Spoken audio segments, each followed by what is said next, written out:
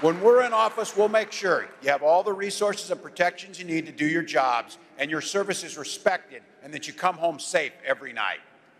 We know exactly who built this country.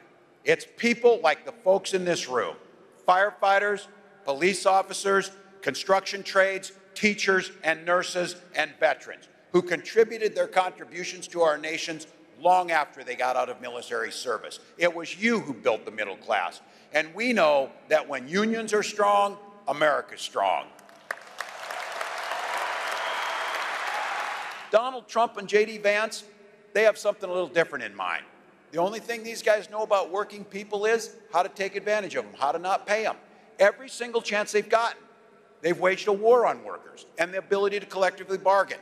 Sisters and brothers in labor, it's time for you to step up to the plate. We've got 69 days to win this thing, 69 days to protect labor rights. You know how to fight. That's all you know how to do. That's all you've had to do every step of the way to improve this profession and to bring people into it. So, as the next president of the United States always says, when we fight, we win.